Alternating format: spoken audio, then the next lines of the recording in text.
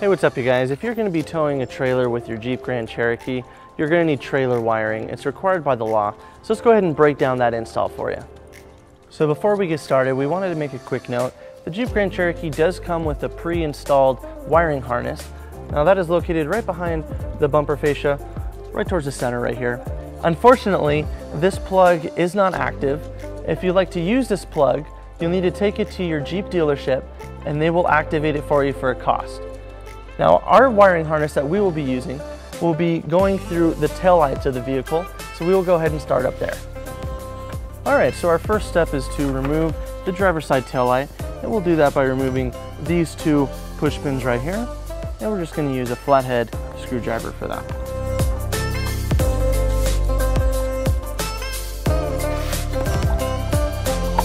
All right, with the two push pins out, we'll go ahead and remove our driver's side tail light using a trim panel removal tool. We'll slide it in, and then that will give us access to take it out. And now we'll unplug our tail light by removing these three harnesses right here. And we'll pull on this red tab right there, and then we'll push on the harness and pull it out. We'll repeat on the other two.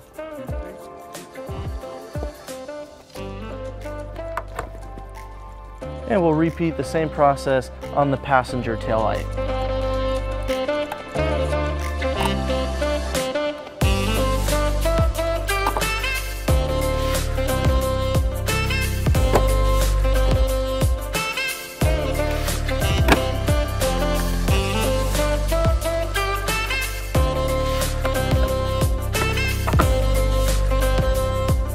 All right, for our next step, we're gonna go ahead and take our T-connection with the yellow wire and our T-connector with the brown wire, and we're gonna run it up through the bumper towards the uh, taillight harness.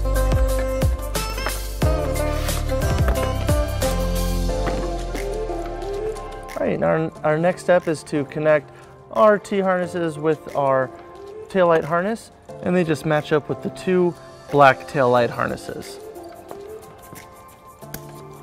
Right now we're gonna go ahead and ground our harness and we're gonna be using a quarter inch tap screw. And we're just gonna put it right here on the side of the frame.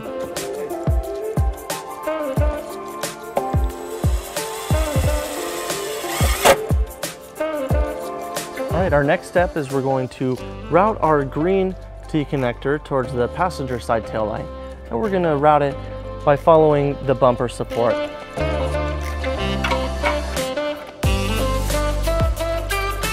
We're going to continue to follow these wires right behind the bumper support.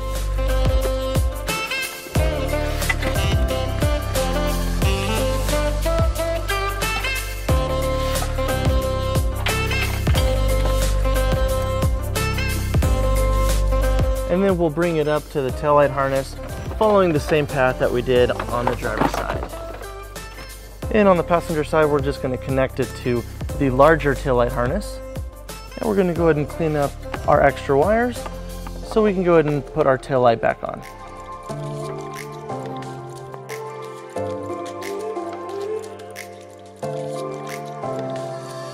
And we're gonna go ahead and put our passenger side tail light back on.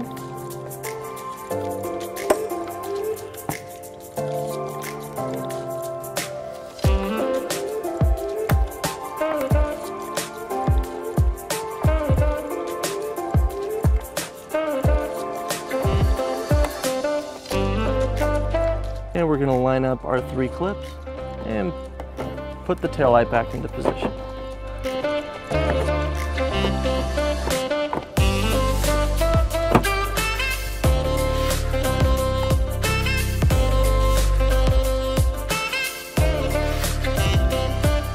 And we'll repeat on the driver's side.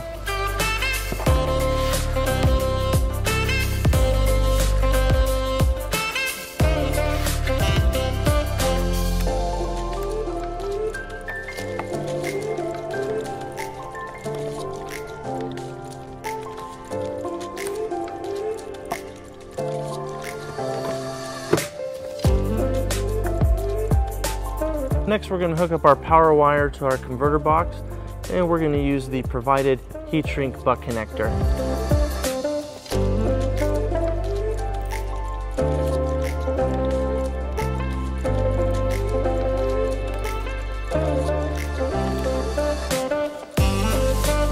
And we'll use our butane torch to go ahead and heat shrink that.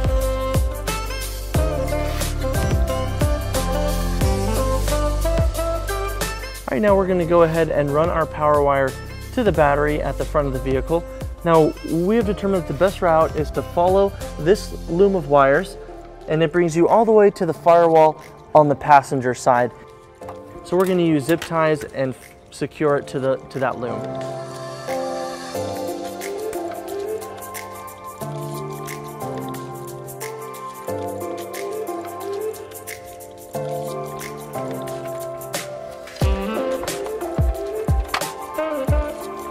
Right, so we pulled it up on to the ramps to give you a better view of our firewall.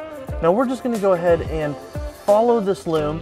As you can see, it just keeps going up through the firewall. So we're gonna go ahead and push our wire back up and get it towards our battery. All right, right here on the passenger side is the battery post that we'll be using.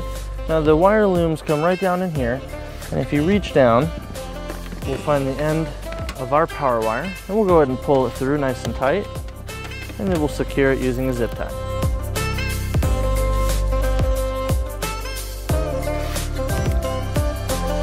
All right, we're gonna go ahead and attach our fuse holder. So we're gonna cut our wire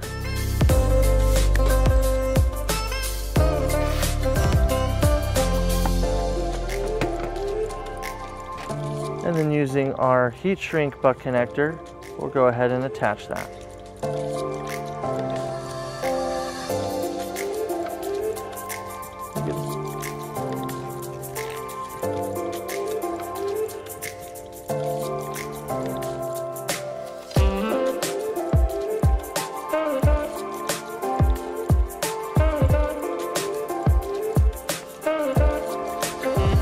And then on the other end of the fuse holder, we'll go ahead and put a heat shrink terminal ring.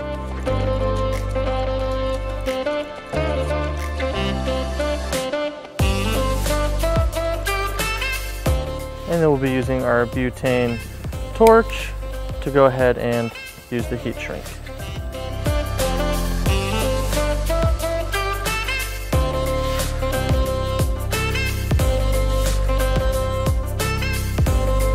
All right, now we're gonna go ahead and remove the battery terminal nut and we're gonna use a 13 millimeter socket.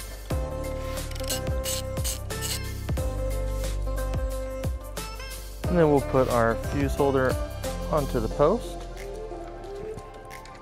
And then we'll go ahead and tighten it down. All right, now we'll go ahead and take our provided 15 amp fuse and we'll just place it in the fuse holder.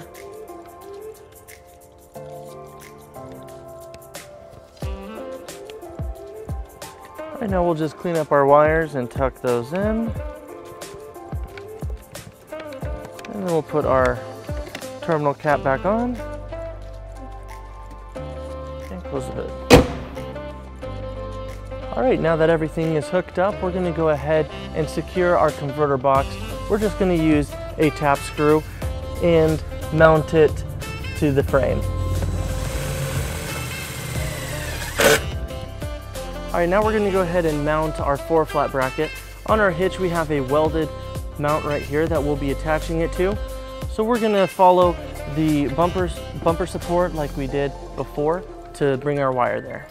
All right, now that we have our four flat routed, uh, our kit does not come with a four flat mounting bracket. So we're gonna use U-Haul part number CQT118144 to mount it to our welded plate. And we'll be using the included screws and nuts to put that into place.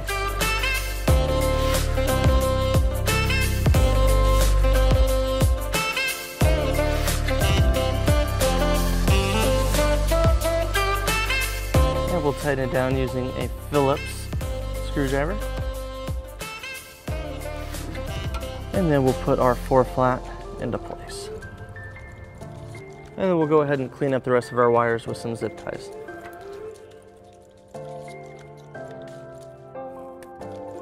All right guys, that wraps up our install. Thank you for watching our video. For more information, you can visit your closest U-Haul Hitch Center or visit us at uhaulhitches.com.